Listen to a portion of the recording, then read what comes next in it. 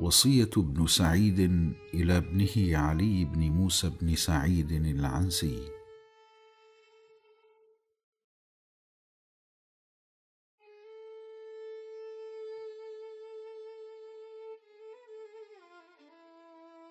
أودعك الرحمن في غربتك مرتقبا رحماه في أوبتك وما اختياري كان طوع النوى.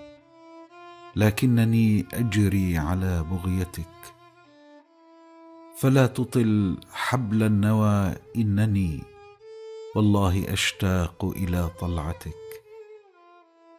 من كان مفتونا بأبنائه فإنني أمعنت في خبرتك.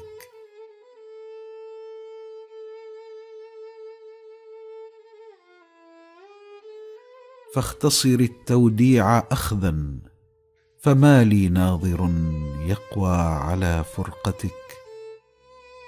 واجعل وساطي نصب عين ولا تبرح مدى الأيام من فكرتك. خلاصة العمر التي حنكت في ساعة زفت إلى فطنتك. فللتجاريب أمور إذا طالعتها تشحذ من غفلتك. فلا تنم عن وعيها ساعة فإنها عون إلى يقظتك. وكل ما كابدته في النوى إياك أن يكسر من همتك. فليس يدرى أصل ذي غربة وإنما تعرف من شيمتك.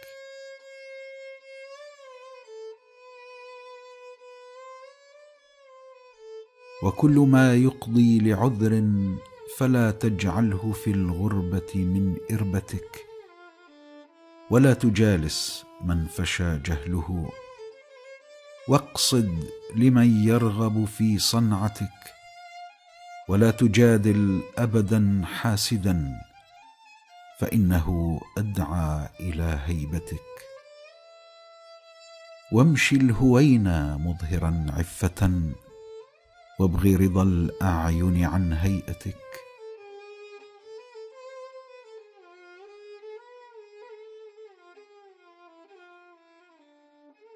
أفش التحيات إلى أهلها ونبه الناس على رتبتك.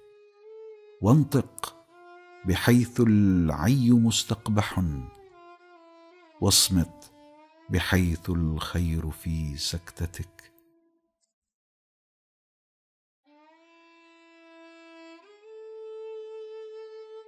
ولا تزل مجتمعا طالبا من دهرك الفرصة في وثبتك.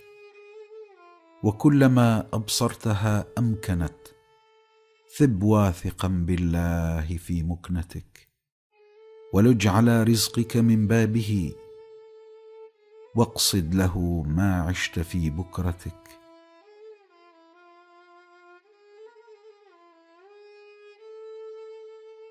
ويأس من الود لدى حاسد ضد ونافسه على خطتك.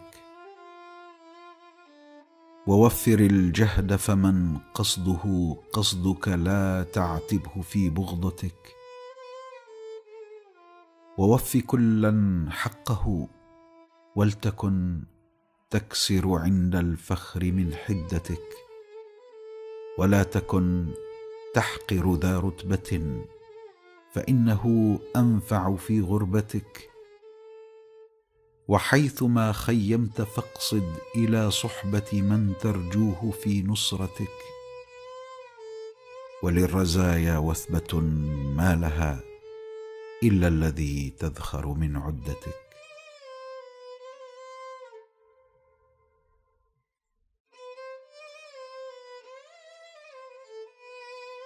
ولا تقل اسلم لي وحدتي فقد تقاسي الذل في وحدتك.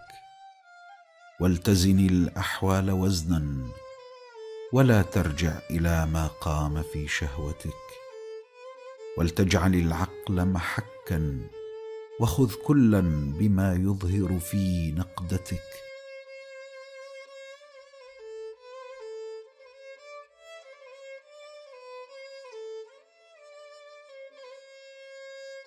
واعتبر الناس بألفاظهم واصحب أخا يرغب في صحبتك بعد اختبار منك يقضي بما يحسن في الأخدان من خلطتك.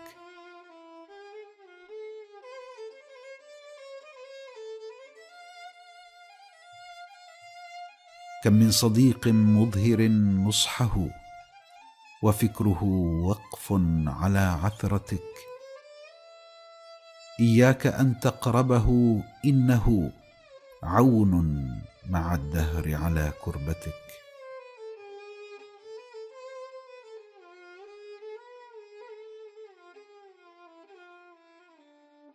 واقنع إذا ما لم تجد مطمعا.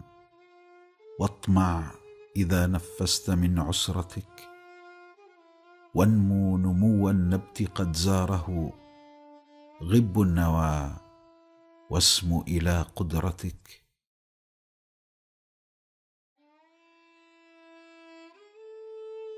وإن نبا دهر فوطن له جأشك وانظره إلى مدتك. فكل ذي أمر له دولة. فوف ما وافاك في دولتك.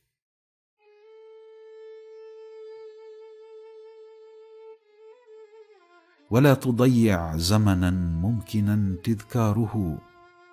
يذكي لظى حسرتك والشر مهما استطعت لا تأته فإنه حوب على مهجتك.